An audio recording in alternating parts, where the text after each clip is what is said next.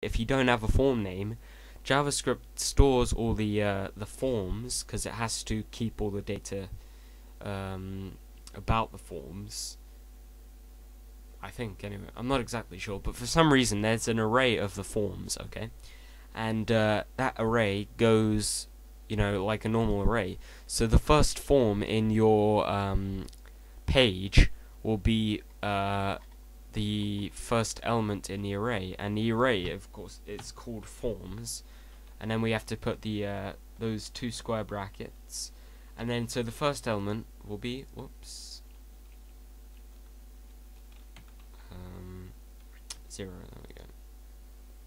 And whoops, I deleted the other square bracket. Okay, there we go. So now what we're doing here is we're using the uh, the array that JavaScript has of um, of forms to retrieve the first form in the HTML page and this annoying uh, where is it? I must have pressed something which made that cursor come up. Oh well. Okay, uh, there we go. I know what I'm pressing. I press insert, didn't I? There we go. Okay.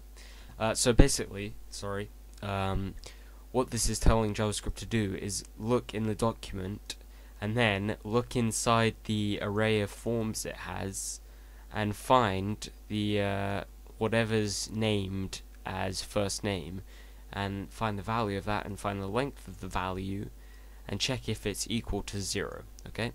And that's exactly the same as telling JavaScript to look inside the document for an element ID'd as first name, look inside the value of that, look inside the length of the value, and check if it's equal to zero, okay? These are both the same.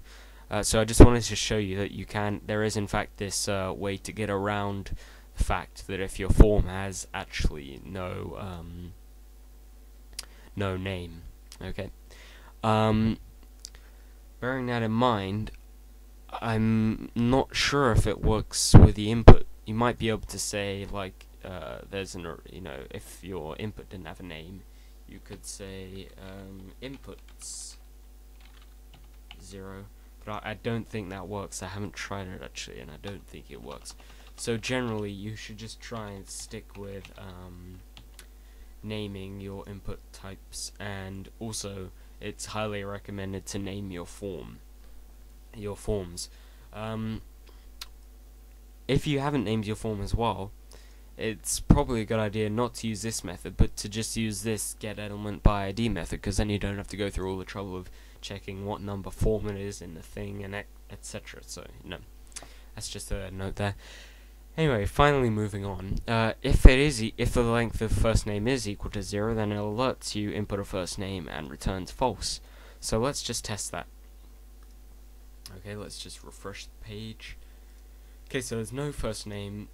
I'm going to click submit, submit, sorry, and it's going to say input a first name, okay, as usual. Oh, and by the way, this return false is crucial. If you don't have that return false, here, if I save that,